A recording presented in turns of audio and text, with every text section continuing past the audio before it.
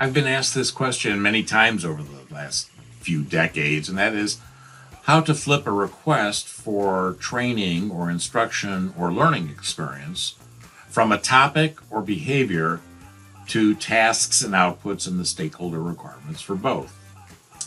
I uh, do active listening and make sure that I understand what the request is in the first place and honor the requester for what they're bringing to me. After all, I'm in a service function, I'm in a service role trying to serve the business.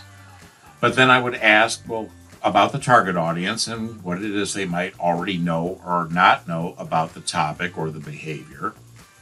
And then I tried to segue into asking about the practice with feedback and what that might look like and what criteria would be used to judge practice to determine whether it's good or not so that we can give feedback, shaping feedback, corrective or reinforcing feedback to ensure that people build confidence and, and competence in applying what it is that, that the topic or behavior is all about.